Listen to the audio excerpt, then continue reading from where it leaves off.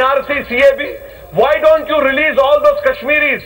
Sir, your MPs are saying this is Diwali. Why can't you leave the whole Kashmiri people? Let them come out. Let them also celebrate. They cannot even use a cell phone. They cannot even go out. What are you talking about? You have created Srinagar as some sort of a West Bank. That is unfortunate, sir. That is why I demand that the government release all prisoners, release, you know, take away the curfew and ensure that communications are started. Last, last point, sir. What will happen on Eid? Eid is on Monday.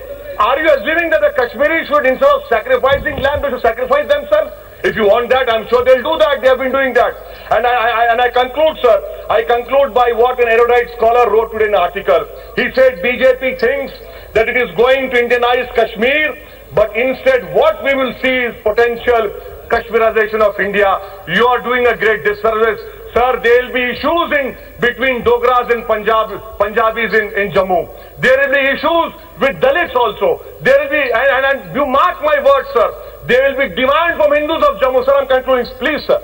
There will be demand from Hindus of Jammu that why do we live in those two, uh, Pir Panjal and Chenab Valley with Muslims? There will be migration, you mark my words from Muslims of Kargil. You are underestimating. That is why, sir, I oppose this bill because this government is doing a disservice to Sardar Patel and Nehru. Thank you, sir.